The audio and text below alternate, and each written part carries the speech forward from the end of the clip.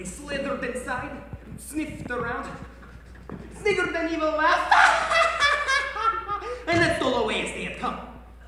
Were, were these rats at restaurant? Because those rats are huge, even even for rats at I tell you, it was a nightmare.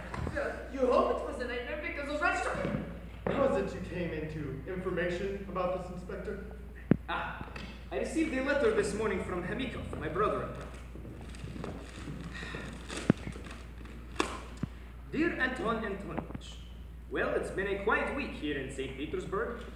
Eh, Boring and tedious, boring and tedious. Ah! But what will interest you is this.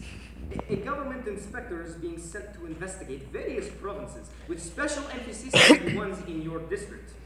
Now I know that you are an honest public servant whose selfless sacrifice would humble a nun.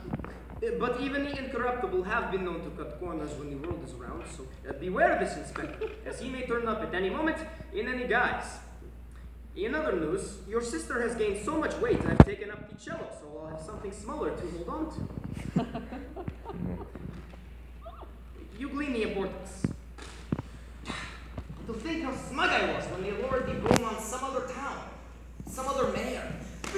By us and by by now. I know why.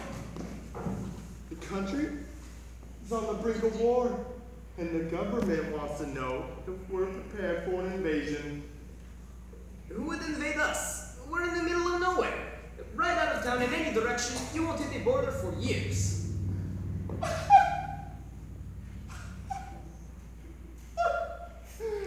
Be too easy to invade from the border. Real crafty enemy? They'd invade from the middle.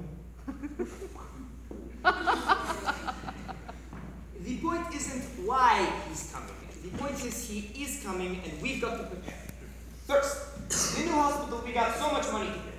How many patients are there at present? None. The rooms are too small. Your cousin, the contractor, doesn't seem to have understood the concept of scale. Hire a carpenter and build some beds inside the rooms. And what size patients are we going to be putting in these beds? These are tiny rooms we're discussing. Well, how tiny? Uh, Peshki the dwarf might fit in if he squats. All right.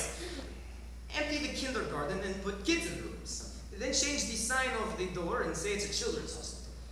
And uh, what about the good doctor here? I know we got a good deal on that exchange program with whatever country she's from, but no one can understand the word she says.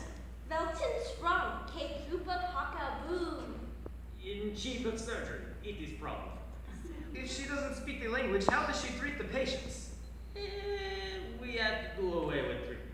Our current policy is if patient is meant to recover, he recovers. If he's meant to die, well, he dies rather quickly. And the good doctor goes along with this policy. The nurses don't